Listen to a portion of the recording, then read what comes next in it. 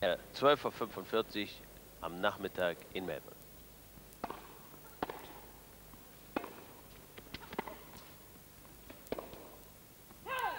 Love 15.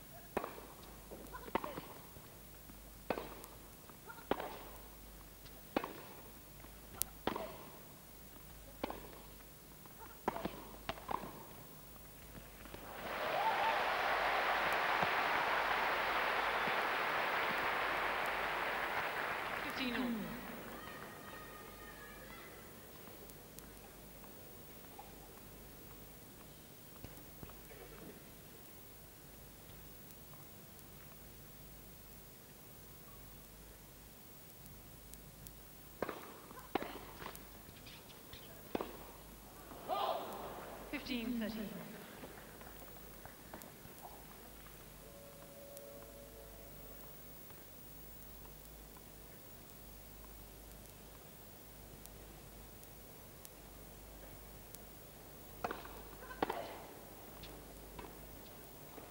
Fifteen forty.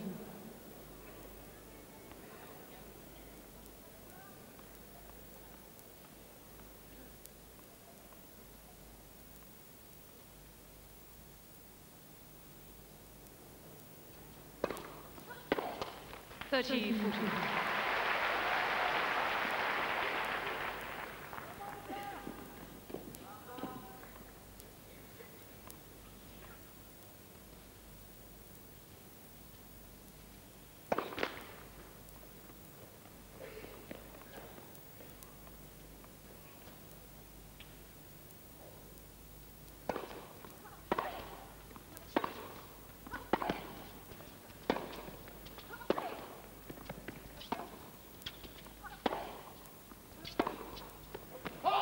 Game sellers. First game.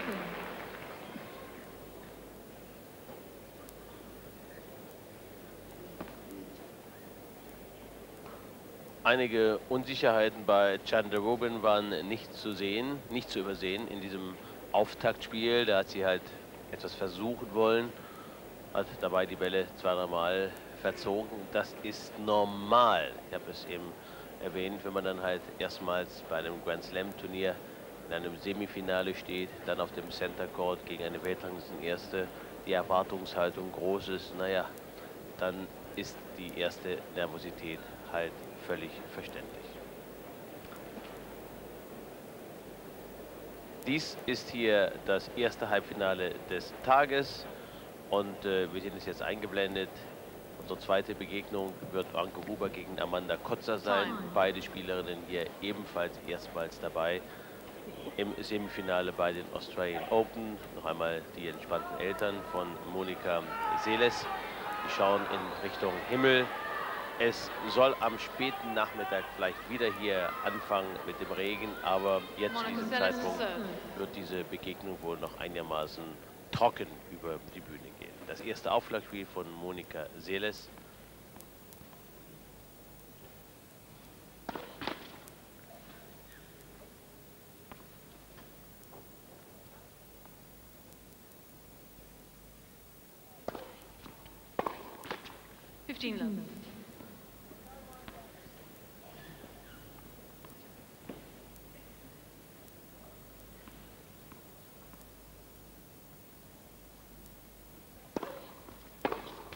forty.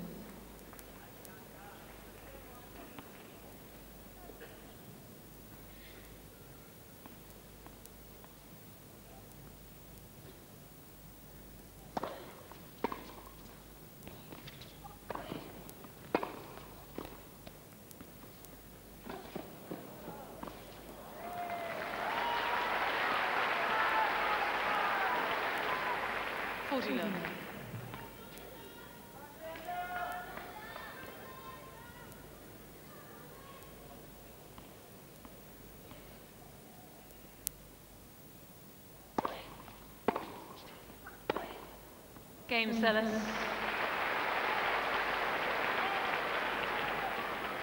Celis leads two games to love.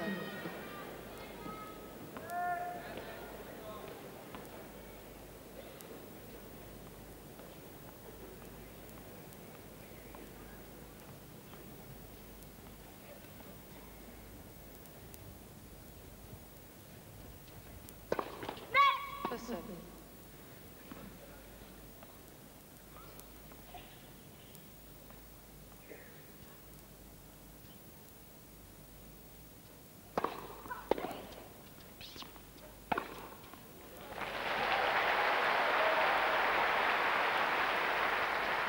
Christina.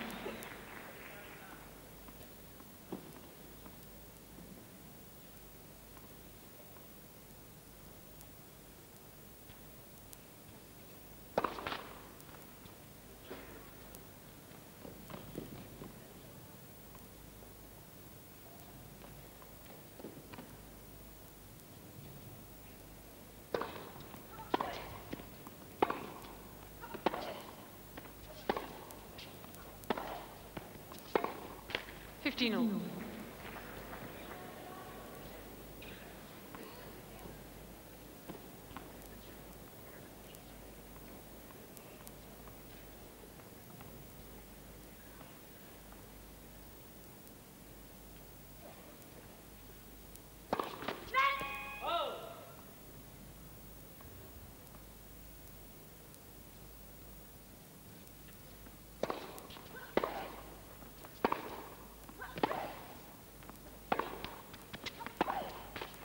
3015.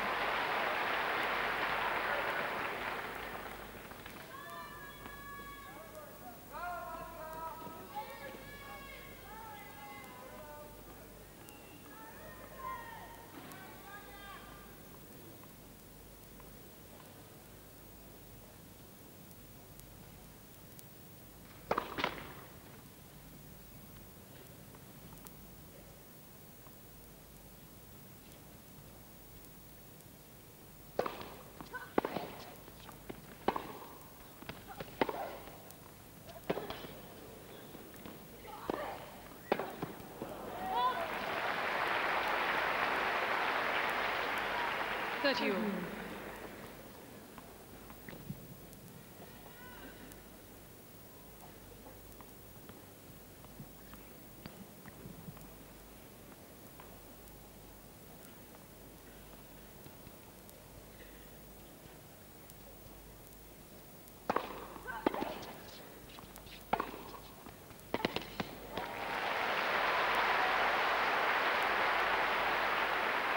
Koji Saji.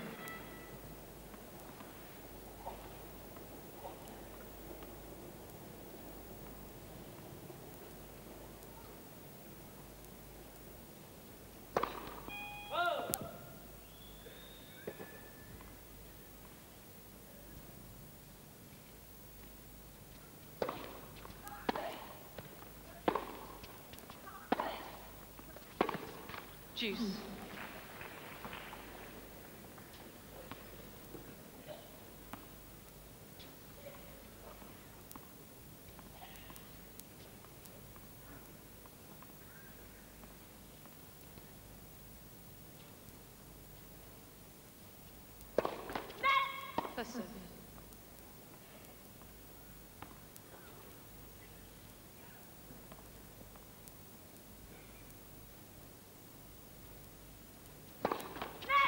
officer.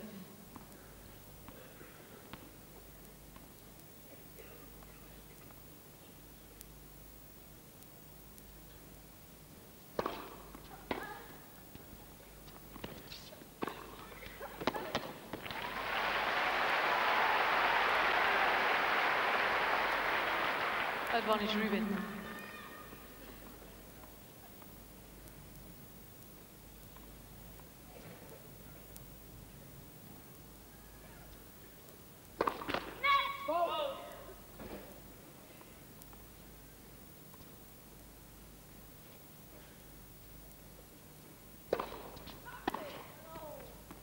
Game one.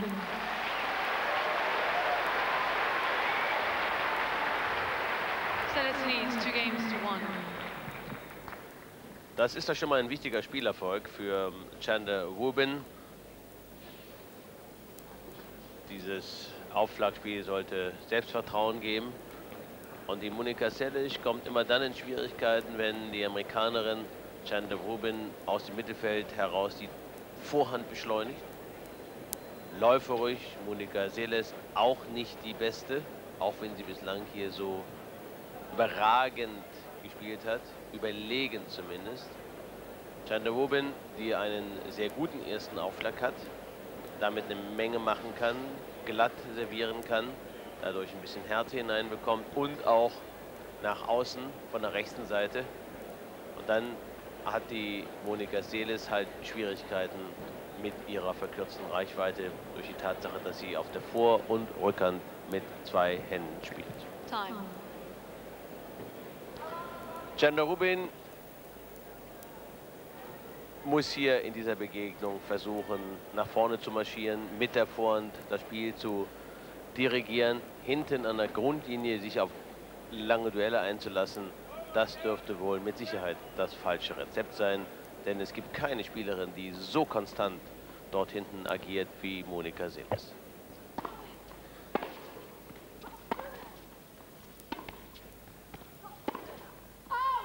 Love 15.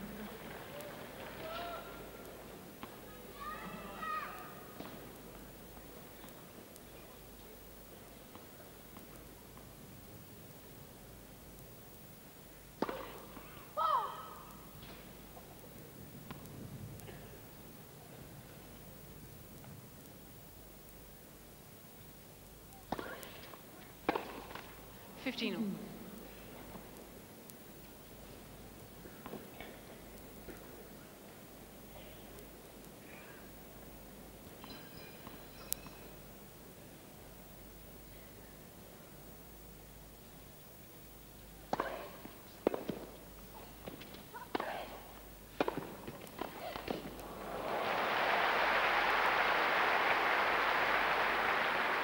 Thirty fifteen.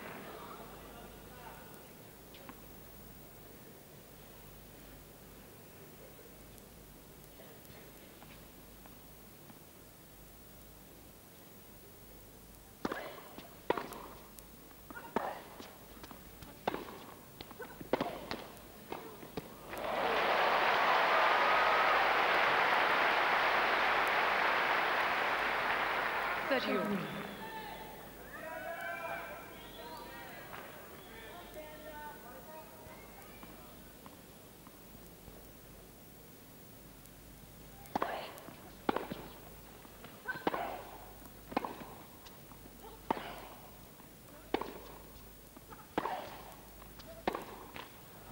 Forty, thirty.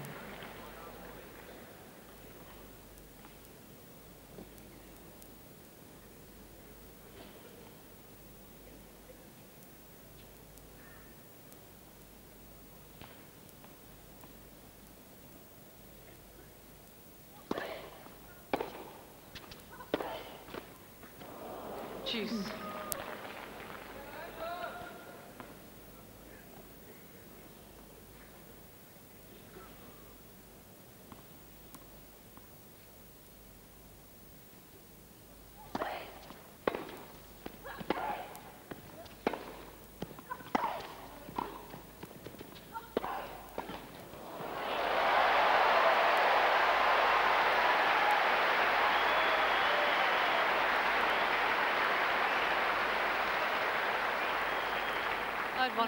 Das ist es, was Chandler Rubin so populär unter den Fans macht.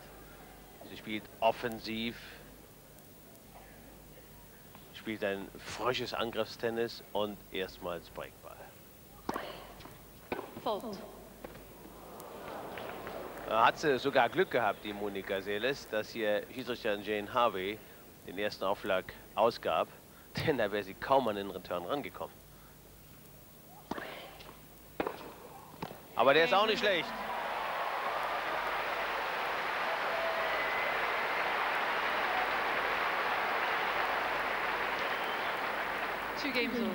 Der Mut zum Risiko wird belohnt. Diese junge Dame ist auf jeden Fall die große Bereicherung im Damencircuit der vergangenen zwölf Monate.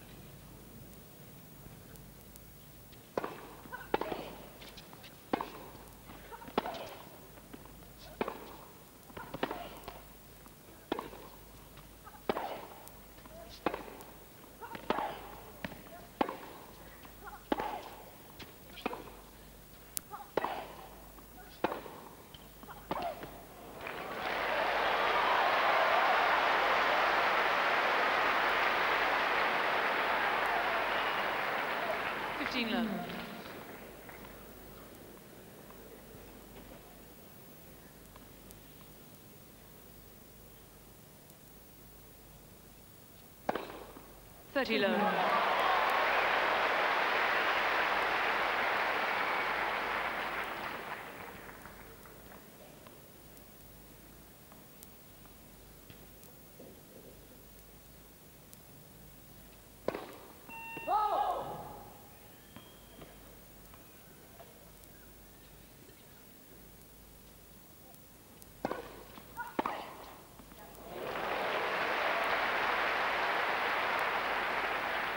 3015.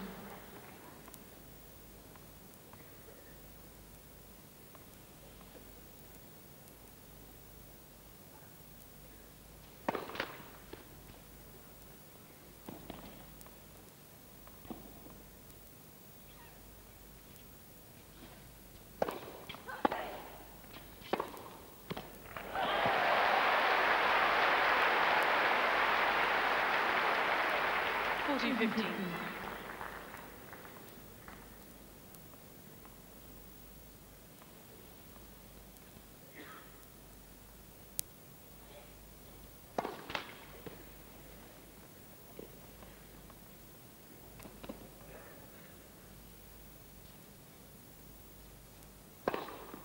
Game Rubin.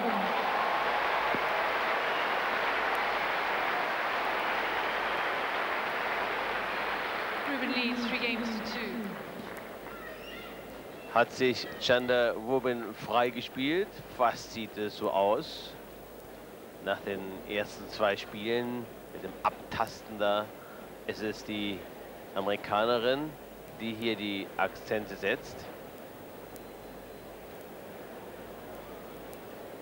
19 Jahre alt, sie wird im Februar 20. Gender Rubin, die sich einen Teufel drum schert, was auf der anderen Seite Monika Seles macht. Nein, nein, sie zieht ihr Spiel auf, so wie das halt die wirklich großen Spieler tun. Sie ist natürlich noch keine große Spielerin, aber die Anzeichen dafür, die technischen Fähigkeiten sind vorhanden. Monika Seles sichtlich überrascht. Sie hat hier keine Möglichkeit, wie wir das in den ersten fünf Spielen erlebt haben, zu ihren gefürchteten Vor- und Rückanschlägen anzusetzen. Nein, nein, sie muss sich sogar bewegen. Und schau an, da sieht die ganze Sache ganz anders aus. Frau Seles aus der Bewegung heraus ist keine Ausnahmespielerin. Mal sehen, wie lange Chanda Rubin dieses Spiel durchhalten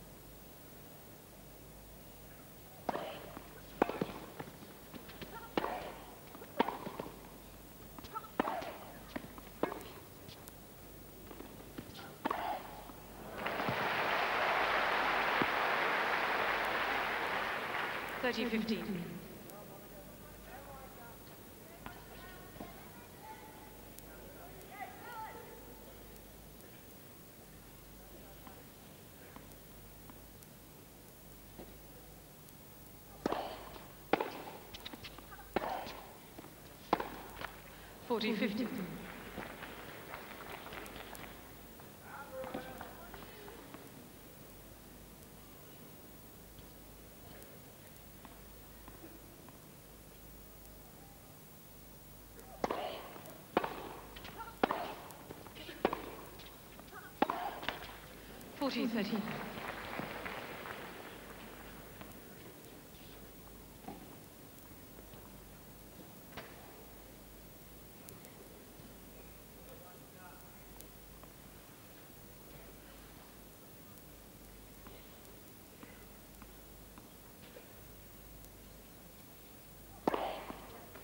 Game, mm.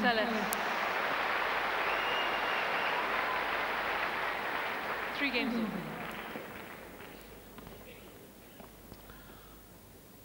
Der erste Aufschlag von Monika Seele ist außerordentlich gefährlich. Dies ist auch der Schlag für die Kroatin. Nein, sie ist ja keine Kroatin, Verzeihung. Sie ist jetzt Amerikanerin. Wollen das auch mal gleich wieder vergessen. Dieser Aufschlag ist die Basis für das gute Spiel von Monika Seles.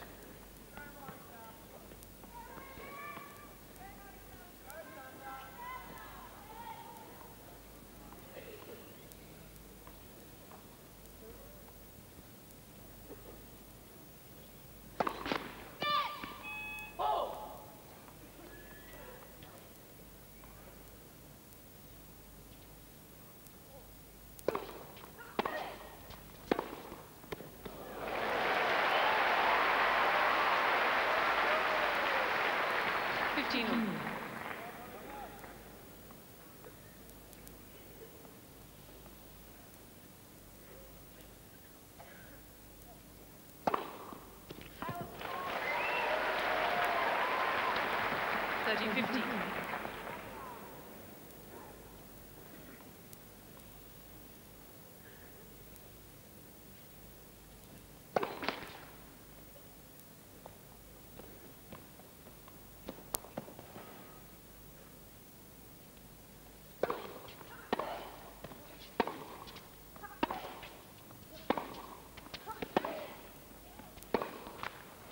That you.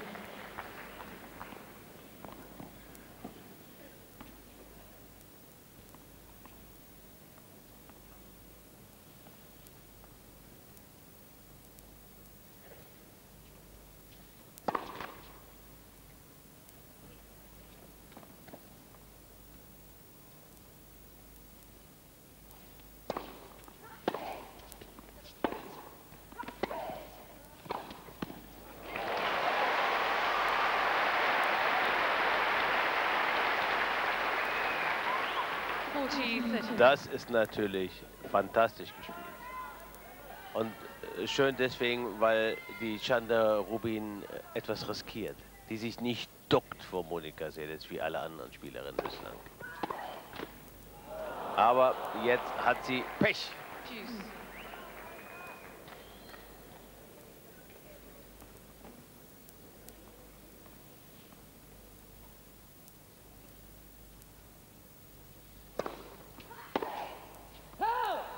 advantage, Ruben.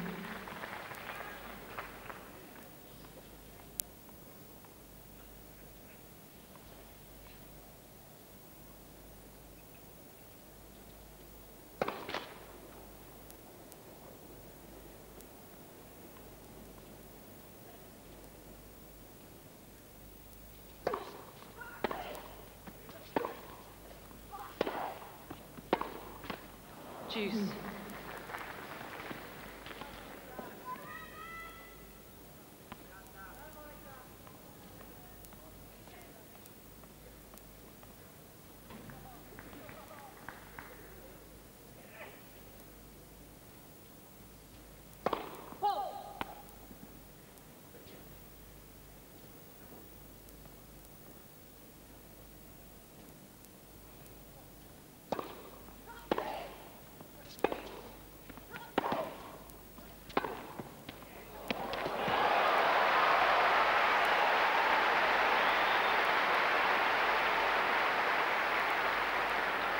Advantage Rubin.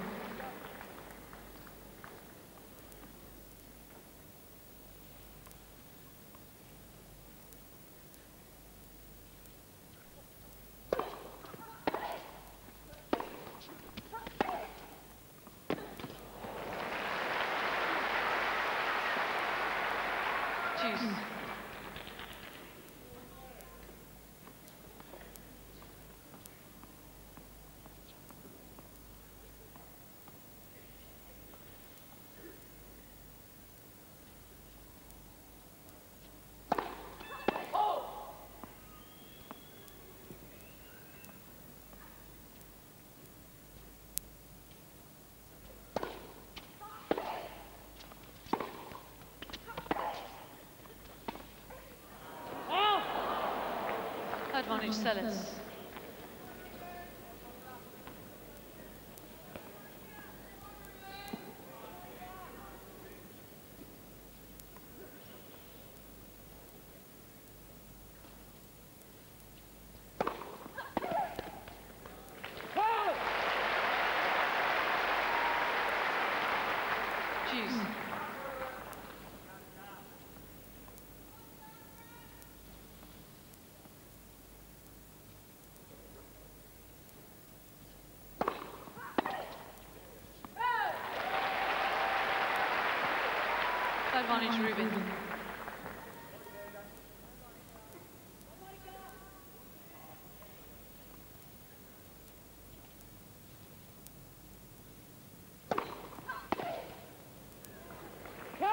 Game Rubin. All change please. New ball. Rubin leads four games to three. Diese ersten sieben Spiele zeigen, dass Monika Seles verwundbar ist. Dass sie nicht die überragende Spielerin auf der Tour ist. Dass sie körperlich auch noch nicht fit ist. Denn sie bewegt sich, sobald sie laufen muss, schlecht für eine Ausnahmeathletin. Wie es nun mal die mehrfache Grand Slam-Siegerin ist oder Siegerin bei Grand Slam-Veranstaltungen ist. Monika Seles ist nicht in Bestform. Das hat sich zwar hin und wieder angedeutet, aber hier bei dieser Begegnung gegen Chanda Rubin ist dies nicht zu übersehen. Und erfrischend auf der anderen Seite dieses unbekümmerte Spiel der 19-Jährigen, die sich, wie gesagt, nur an ihrem eigenen Spiel orientiert. Die sagt, Time. ich muss mein Spiel machen. Hat sie neulich auch erzählt, nach dem Spiel gegen Arancha Sanchez Vicario. Ich muss versuchen, meine eigenen Punkte zu erzielen. Mich nicht auf die Gegnerin konzentrieren. Ich bin diejenige, die hier auch das Tempo bestimmen kann. 4 zu 3 Führung für die Außenseiterin. Monika Seles, alles andere als überzeugend. Neue Bälle für Monika Seles.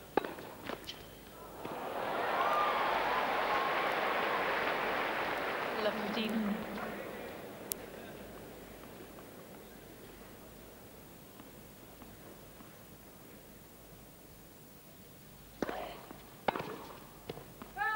Fifteen on.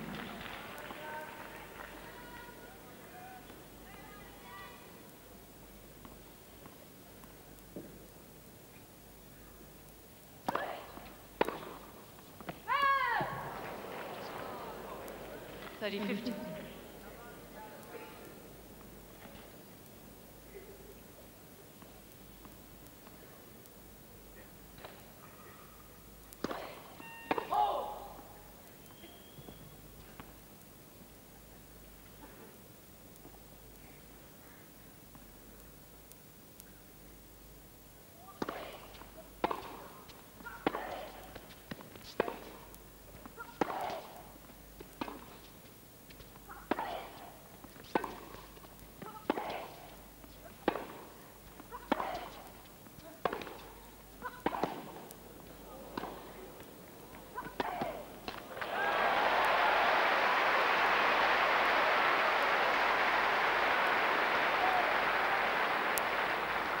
veriyor.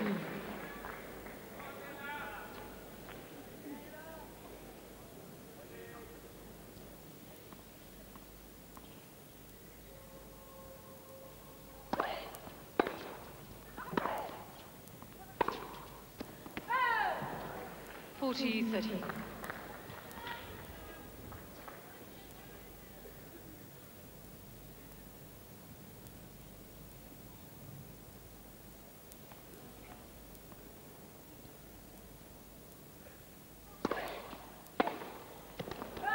Game sellers.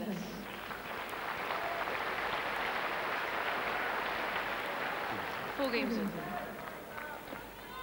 Das war eine heiße Situation für Monika Seles. Aber hier zeigte sich natürlich, dass Chanda Rubin noch nicht über die ganz große internationale Erfahrung verfügt. Zwei direkte Fehler. Schade aus der Sicht der Außenseiterin. Vier beide, aber ihre Aufschläge, die kommen lang und platziert. Und auch hier war die mangelnde Beweglichkeit bei Monika Seles nicht zu übersehen.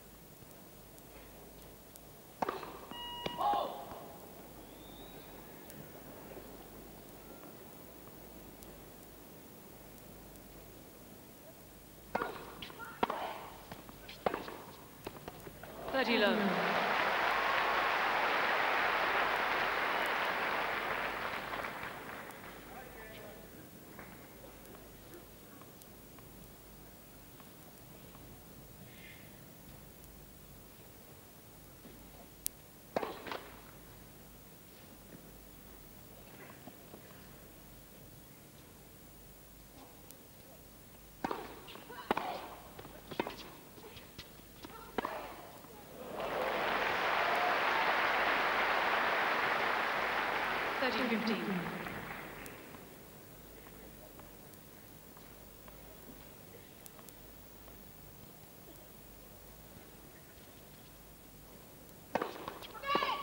Listen.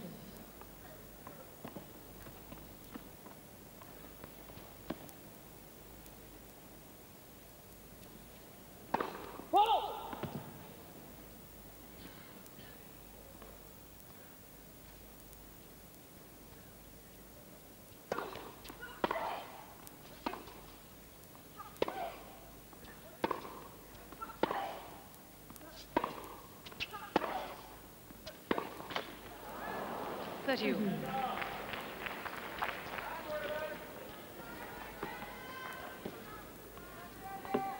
Achten Sie mal bitte darauf, dass sich Chanda Rubin nicht zurückfallen lässt. Die sucht hier den offenen Schlagabtausch. Das ist das richtige Rezept gegen Monika Seles. Für die Amerikanerin und da serviert sie durch. Und da fehlt ein Meter für Monika Seles, um den Ball überhaupt zu berühren. Schauen Sie mal hin. Ach, das sind zwei Meter, drei Meter. Und Spiel. Game Rubin.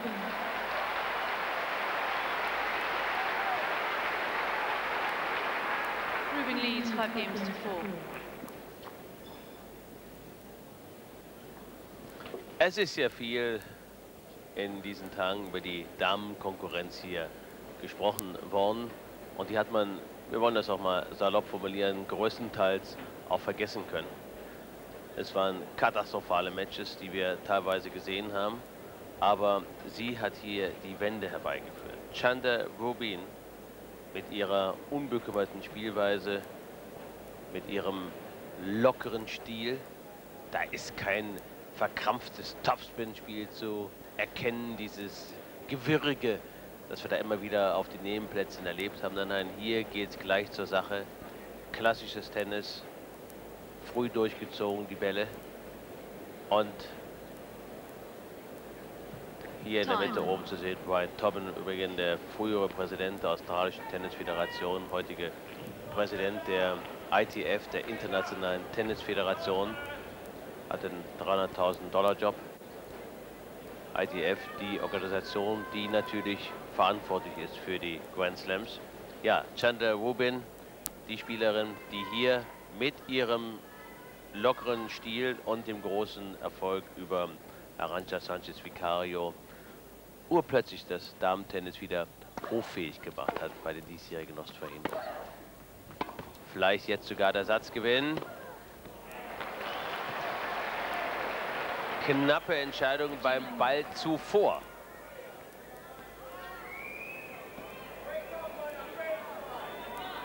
Und Sie hören das vielleicht im Hintergrund, die Zuschauer Sie unterstützen nicht Sie, sondern Chandler Wubin.